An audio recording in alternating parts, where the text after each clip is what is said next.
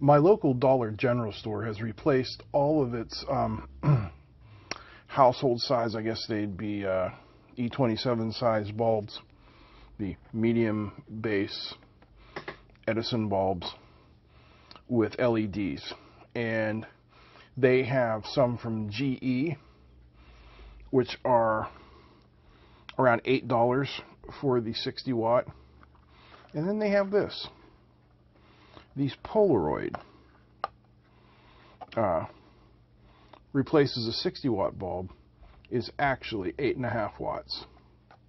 800 lumens cost $1.20 per year to operate. Now, where did I see here?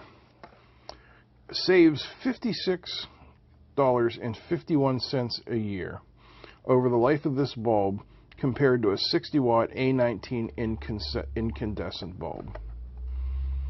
And if we look over here, it says based on running this lamp three hours a day, it will last for 9.1 years. It appear, its appearance is warm at 2700 K, 800 watts. Uh, nothing else interesting there. Now back here, it is distributed by limagehomeproducts.com limage limage yeah yeah here we go. Limage home products 1175 place du Frère-André Montreal Quebec Canada. And for technical support it says call Polaroid customer service at Limage Home and the reason I find this all interesting is because the Polaroid Corporation went out of business years ago. So, some one hung low Chinese manufacturer has bought the rights to use the Polaroid name. And let's uh, let's zoom in here. Maybe you can actually see it.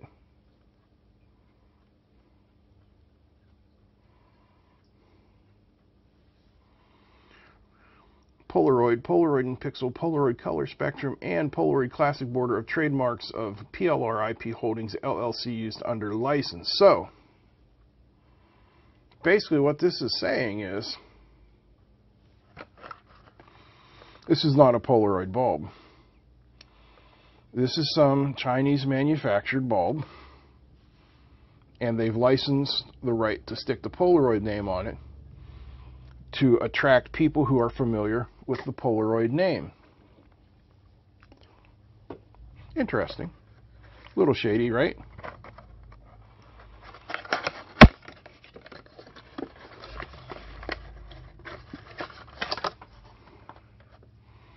Alright, so we look at the bulb. Oh, and the bulb is, has Polaroid stamped on it also. 8.5 watt, 800 lumen, 120 volt, 60 hertz, 120 milliamp.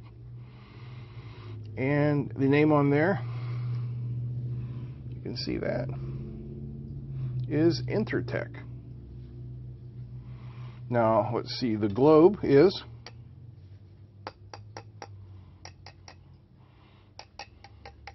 I don't know, it's hard to tell. I believe it's plastic. And what is this material here?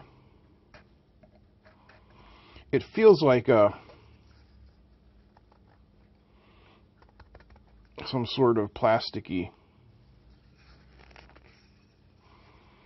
type substance.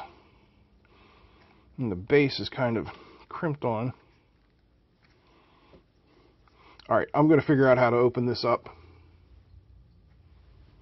And I'll be right back.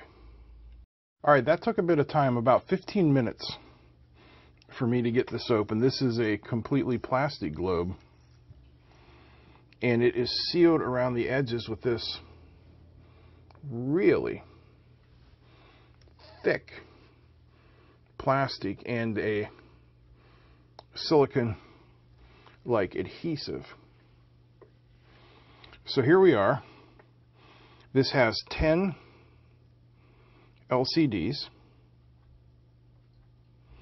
You can see they're labeled 01 or D1 through D10.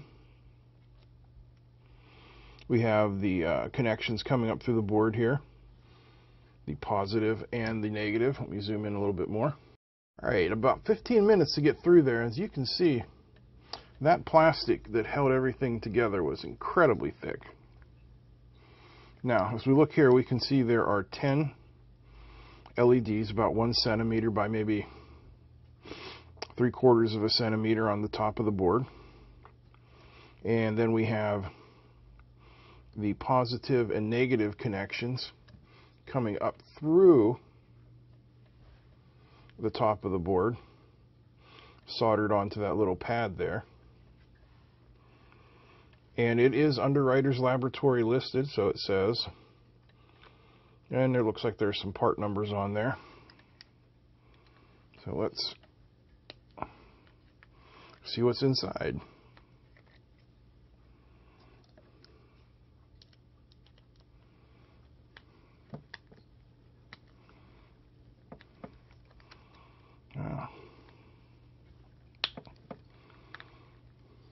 Oops. They got the screws in there good. That's one thing.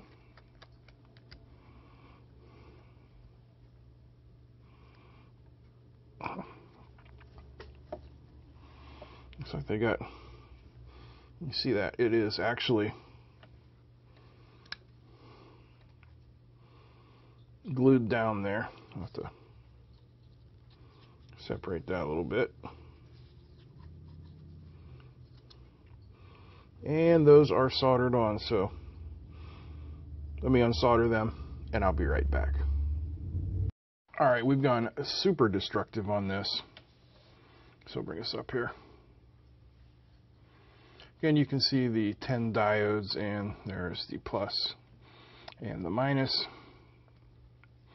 On the back you can see the aluminum plate and plenty of heatsink compound this is looking pretty fairly well built. Now on to the board. Okay. The alive comes in here and the neutral comes in here. So the live comes in, goes through an 8.2 microfarad 200 volt electrolytic capacitor.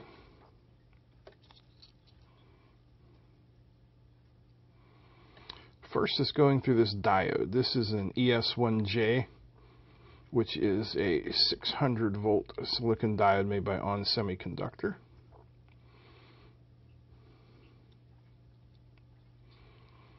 And then we have this very interesting uh, seven pin chip. Seven.